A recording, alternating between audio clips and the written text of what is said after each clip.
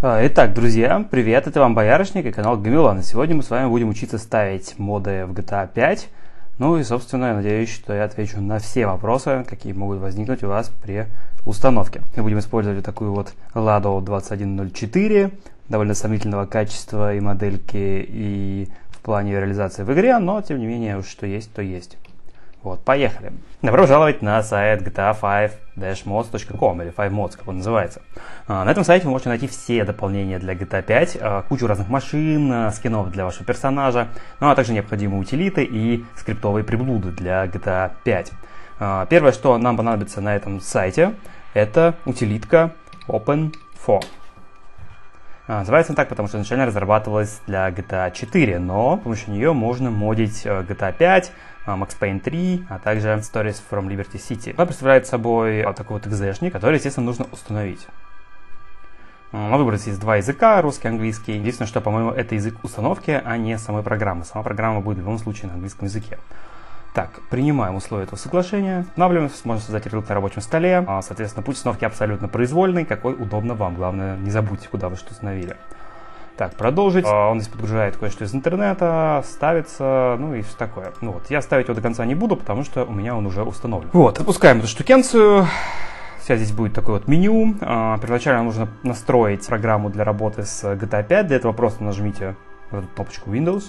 Скорее всего, он сам найдет э, исполняемый файл. Если же не найдет, э, вручную укажите ему путь до вашего э, GTA 5. Если у вас Steam-версия, идете по адресу Steam Library Steam Apps Common, ну или как бы, соответственно, если это прям стимовская папка в корне Steam, то Steam Steam Apps Common.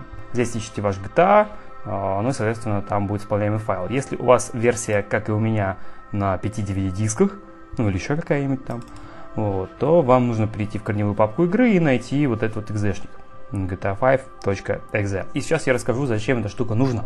Вкратце, это контент-менеджер для работы с файлами GTA 5. Самая важная и самая полезная его функция это то, что он автоматически создает копии файлов, с которыми вы работаете, да, и этими файлами подменяет рабочие файлы GTA 5. Вот он создает такую папочку mods, куда копирует все файлы, которые вы хотите отредактировать. Допустим, возьмем какой-нибудь x64i архив, да, нажмем кнопку редактирования. Это режим, в котором можно вносить изменения в файлы игры. Выключенным режимом никаких изменений у вас не будет. Включенным, соответственно, будут.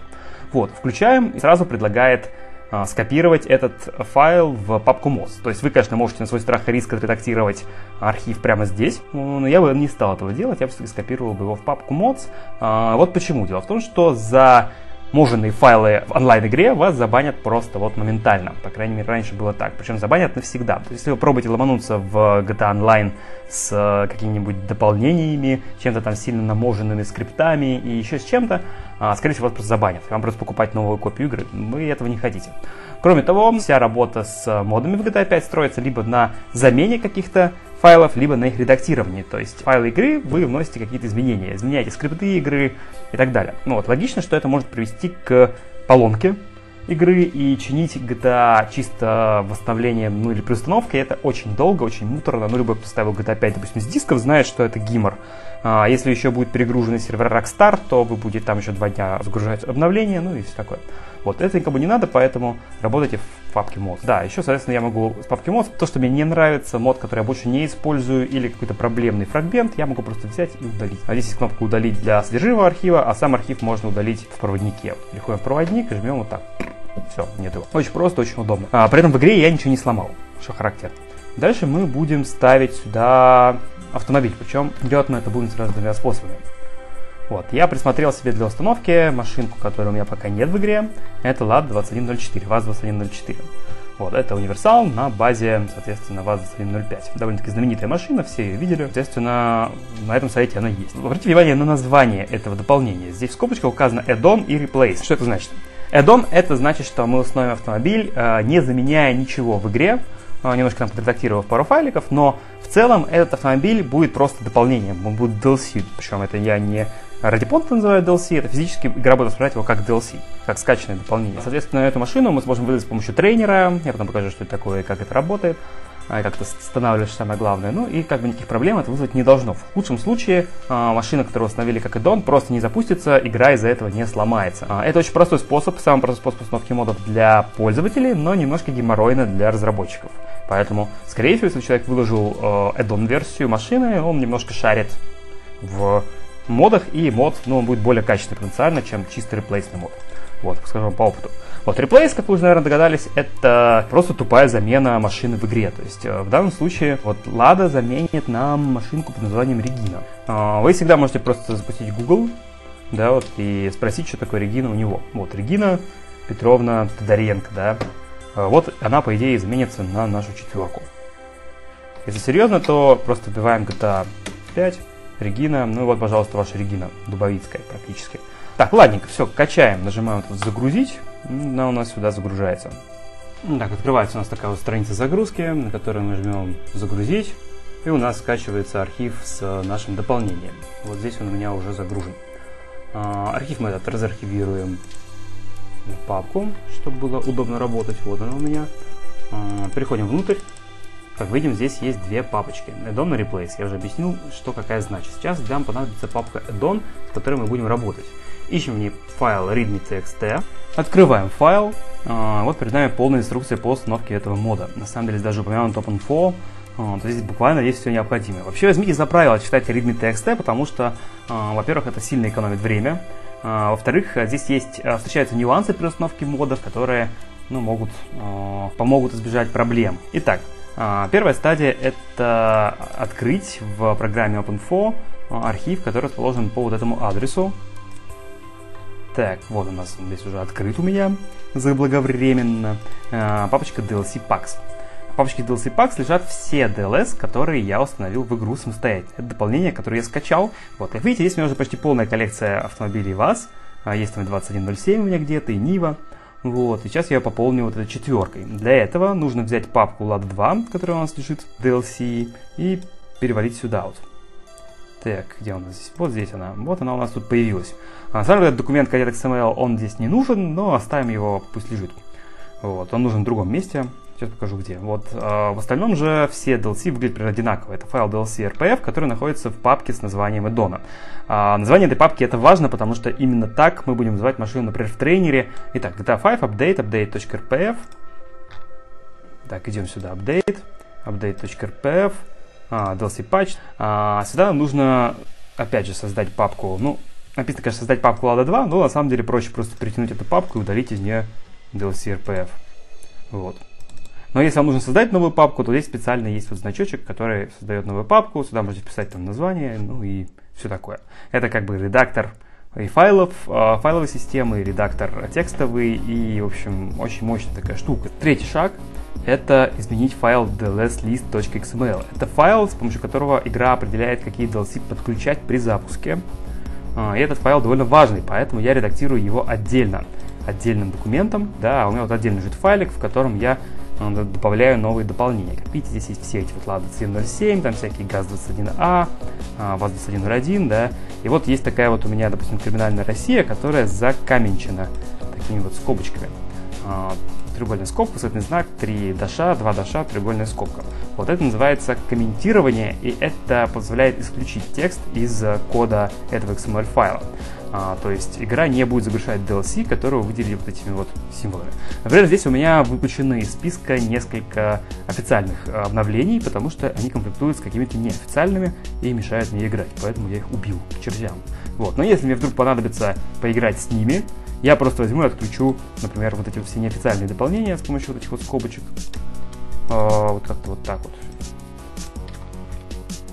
Да, смотрите. Сохраню это все, и у меня получится вполне себе рабочая чистая ванильная версия. То есть мне даже не придется удалять какие-то файлы откуда-то физически. Видите, как все это очень хорошо, красиво и замечательно. Так, сейчас сюда нужно добавить описалого нашего нового тачла. Я почему-то уже запомнил, что папка у нас называется Lada 2. Да? Правильно? Точно так. А, смотрите, здесь немножко другие слэши почему-то автор поставил, но на самом деле совершенно не важно, по моему опыту, какие слэши вы используете. А, для единообразия я использую те же, что использует а, официальная игра. Итак, дальше что нам нужно сделать, это перенести этот файл, вот здесь у меня лежит, вот он лист, перенести его туда, где он лежит в самой игре. Находится он по адресу update, update, traffic, common data. Давайте-ка найдем его в этом списочке. Вот он, DLC лист. Берем его сюда, просто тупо перетягиваем, и он заменяется. Для того, чтобы проверить содержимое файла в вот этой файловой системе, а, можно открыть его просто двойным щелчком. Кстати, его можно и редактировать, но для редактирования а, здесь нужно выбрать отдельный пункт редактирования, либо нажать Ctrl-Enter. Это просто просмотр. Как видите, Lada 2 у меня сюда уже добавлено, ну как бы все. Продолжаем разговор. На этот раз попробуем установить машину заменой. Мы переходим в папку Replace, открываем файл install текста. Это тот же самый readme.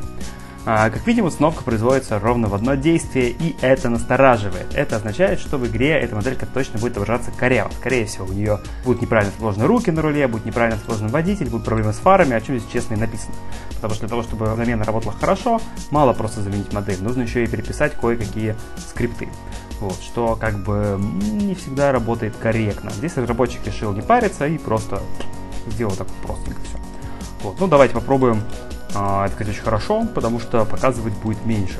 Итак, нам надо найти вот этот вот э, архив, но, естественно, этот архив patchdate3ng я еще не редактировался в игре, и вы, скорее всего, тоже. Поэтому мы ищем его не в папке mods, как здесь сказано, а в папке э, update. Вот на папка update на 64.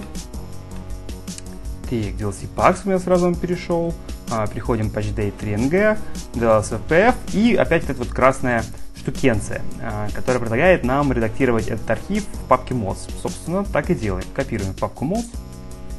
А, это занимает, естественно, какое-то время, потому что архив обычно большой. Вот. Отлично. Итак, вот у нас здесь появился в том же самом DLC Packs, куда мы только что запихали Lada 2, появился PatchDate 3NG и DLC. Теперь можем идти дальше на 64, Levels, GTA 5, Vehicles RPF, вот этот вот архивчик нам нужен. Здесь есть вот некоторые машины, да, в том числе где-то здесь валяется и Регина, которую мы сейчас заменим совершенно варварским образом. Так, я же работаю в Moods, да? Все, проверяйте иногда, чтобы не вылезло куда-нибудь из этой папки. Так, берем вот так вот просто фигачим это вот сюда вот и не паримся. Она заменилась. Вот, естественно, я не хочу, чтобы эта замечательная Регина у меня менялась на какую-то непонятную универсальную шаху, поэтому я просто беру и вот так вот вот так вот беру и такой, и такой, хоба. Сейчас, минуточку. Это у нас тут HD тринга. Хоба. И все. Я, короче, взял и удалил нафиг э, нашу замену. Вот, при этом 2 у меня осталось работать, и Регина у меня не пострадал. Драгоценная Регина. Да. И что самое главное, patch, это обновление Patch Day 3NG, оно у меня осталось, а, игровые файлы не повреждены. Вот такие делишки. Итак, теперь для того, чтобы вызвать машину, которую мы установили, да и вообще, может, любую машину в игре, нам потребуется тренер. А, и у меня есть хорошая кандидатура. Мод, который называется меню ОО. А, сразу скажу, что тренер в GTA это не просто система читов, это полноценный инструмент для управления миром игры. А, по сути, тренер, особенно такой хороший, как меню ОО, а, позволяет полностью подстраивать игру под себя и делать из нее что-то такое супер крутое. Для работы этого мода нам потребуется последний патч GTA 5. Если у вас официальная версия, он у вас поставился автоматически, и вы его уже прокляли. Если у вас какая-то пиратка, то вам придется погеморроиться и самим разбираться, как это ставить. Я пиратам не помогаю, по крайней мере, не делаю этого открыто. Хо-хо-хо. Бутылка рова. Так, ладно. А, кроме этого, нам потребуется последняя версия плагина, который называется ScriptHook V. И это тоже очень важная штука. А, предлагаю сразу прям вот а, в другой вкладке найти его, чтобы не потерять. Да, вот ScriptHook uh, 5 плюс Native Trainer. Native Trainer это ерунда, он, конечно, проигрывает меню, а вот сам ScriptHook нам понадобится. Также обратите внимание, что несмотря на то, что дата здесь стоит древние загрузки, uh, скачивать нужно все равно ее. Обновляется она каждый раз через какое-то время после выхода нового патча. И часто здесь ну, как бы о выходе нового патча можно судить по куче всяких проблемных комментариев, типа такого uh, does this work, uh, doesn't work, там, короче, почините, uh, still out of date, да, вот 6 июля было. Вообще говоря, это наводит меня на мысль о том, что игра недавно обновилась, и так, так, так, так, так, вот смотрим. 5 дней, 5 дней, hello, have a problem with mods, for example, native trainer, menu, but I press 8, nothing happened. Короче, у меня есть такое подозрение, что а, игра недавно обновилась, и нам придется ждать обновления этого скрипт-хука. Ну что ж, прошло чуть больше двух недель, скрипт-хук все-таки обновился. Наше дело поставить скрипт-хук. Объясню, почему это критично. Потому что на Script Hook е работают все скриптовые моды в GTA 5. Естественно, если э, игра обновилась и Script Hook не обновился, э, то игра просто не запустится. То есть можно, конечно, отключить Script Hook, то есть убрать его оттуда, куда он ставится, куда он ставится. Тогда игра запустится, но не будут работать скриптовые моды. Э, как бы играть можно, но как-то уже не так весело. Ладно, качаем последнюю версию Script Hook а. А, он состоит так вот bin, dev какой-то, vcom, короче, какая-то веб-страничка и readme. Можно почитать readme, тут очень много всякой непонятной фигни, короче, какие-то патчноуты и все такое. Вот. А, это как раз случай, когда readme скорее перегружен информацией и бесполезен.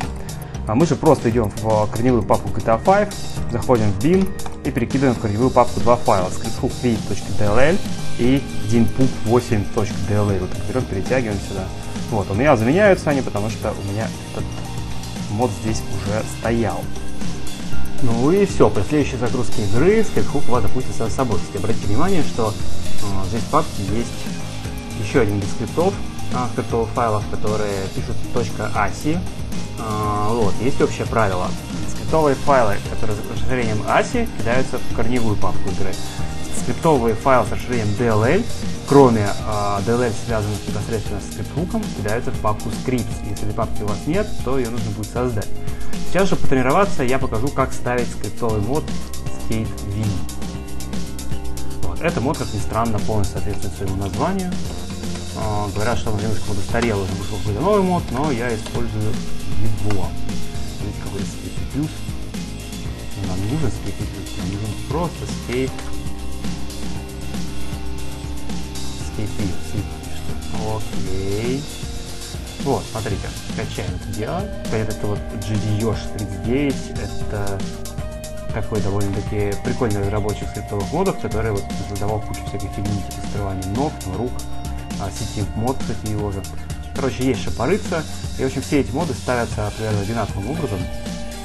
Так, здесь нужно закинуть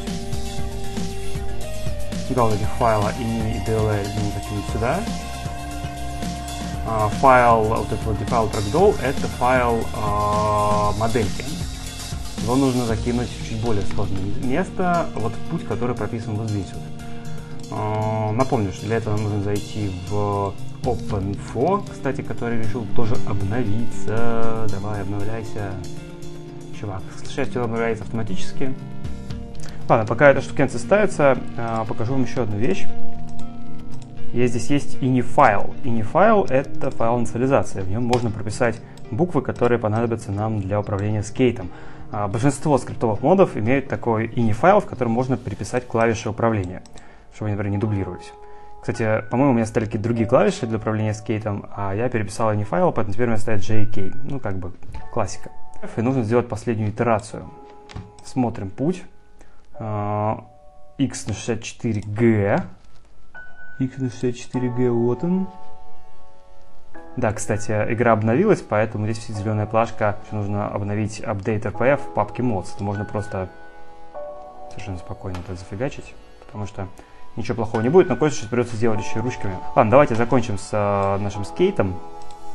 Идем сюда, идем сюда. Потом дальше Levels, GTA 5, Generic, Cut Objects RPF. CatSubjects RPF. Ну и вот, короче, просто сюда фигачьте называем, нажать кнопку редактирования, показать в папке mods. Ну и вот так вот, короче, делаем. И все будет работать, наверное. Ну, должно, по идее, работать. Так, давайте вернемся все-таки к нашим делам, потому что скейт это весело, но это не то, зачем мы здесь сегодня собрались. Давайте найдем э, файл, который мы редактировали в начале видео. Фух, вот он. Uh, update common data DLC list. Вот, и это файл, э, как сказать, ванильный файл игры, короче, не пробанный, ничем не испытанный и не измененный. Здесь появилось кое-что новое. Здесь появился MP Vinewood и патч, патч 21NG. новые записи, которых, по-моему, в LC-листе в моем, который я вам показывал на прошлом видео, не было. Последний здесь был MP Christmas 2018. А значит, нам придется добавить их ручками, если мы хотим использовать в нашей игре контент из дополнения из DLC бесплатного, которое только что вышло. И так нужно делать каждый раз, когда выходит новое дополнение. Сохраняемся. Идем в папочку GTA, которая у меня лежит этот DLC-лист. И закидываем а, DLC-лист в папку mods. По сути, мы обновили игру. А, теперь игра должна запускаться всяких проблем. В ней уже где-то там должны плавать наши Жигули, если я не ошибаюсь. Да, вот они Лада 2. А, ну и теперь последнее, что нужно сделать, это поставить мод меню, который, по-моему, я благополучно не доставил. Короче, это автор, который создал меню, он по какой-то причине решил обновить мод не на странице, а где-то отдельно на GitHub выложить новую версию. Короче, вот здесь есть комментарии к Native тренеру и скрипт и есть такой вот комментарий Wolflyer. Вот он, вот этот вот, вот, вот он. Он вам нужен. Переходите по ссылке на GitHub, качаете эту шляпу. Короче, здесь будет все то же самое, что было в той в том архиве меню, который я скачал чуть раньше. Ну, вот, соответственно, меню оси, меню став. Все это перекидываете в корень. В корень корня, вот сюда вот. Ну и как бы игра у вас должна запуститься. Да, никто не говорил, что будет просто. Да? Ну что ж, давай, загружайся. Загружайся, родимая. Итак, давайте разбираться, что же мы все-таки установили в игру. Во-первых, это меню. Штука, которая позволяет управлять огромным количеством параметров игры, прямо не выходя из нее. То есть можно, допустим, сменить погоду. Вплоть до того, чтобы положить снег. Бах, и у нас зима. Идет снег, пурга, холодно, все дела. Далее, а, с помощью этого спаунера можно вызвать машину. Vehicle Spawner, Input Model, машина называется у нас Lada 2. И вот она, наша Лада. Долгожданная Лада Ушамайча. Вот, тут, как и обещали, точки привязки фонарей эти короны испорченные. Смотрите, как сжигают дальний свет. Вон как оно блестит все.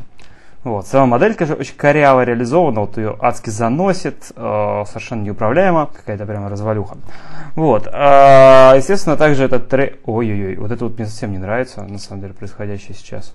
Но сами понимаете, что все, что скачано на сайте с модами, на самом деле может работать совсем не так, как, как ожидается.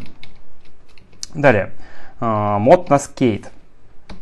По умолчанию это у нас клавиша J дает скейт в руки, клавиша K ставит вас на скейт. Кстати, видите, какая штука.